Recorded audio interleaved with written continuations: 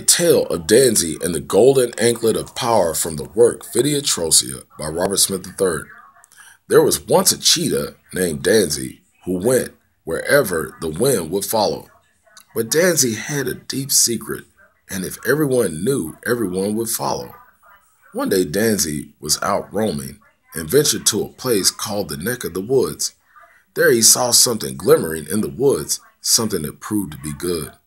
It was a golden anklet sitting there upon a rock. Danzi then grabbed the anklet there, taking it from the rock. Danzi wondered to himself, I wonder if this anklet has powers. I guess I'll put it on and see if this anklet, this golden anklet, has powers.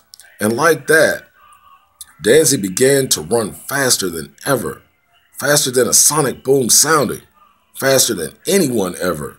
Danzi ran so fast the wind could barely follow. When everyone heard what happened, everyone faithfully followed, saying, Hail Danzi the cheetah, the one faster than a sonic boom. When he takes off running, his speed causes a thunderous sonic boom, and everyone hailed Danzi the cheetah and the golden anklet that gave him his power. And they praised Danzi day and night, saying, Praise Danzi the cheetah and his golden anklet of power.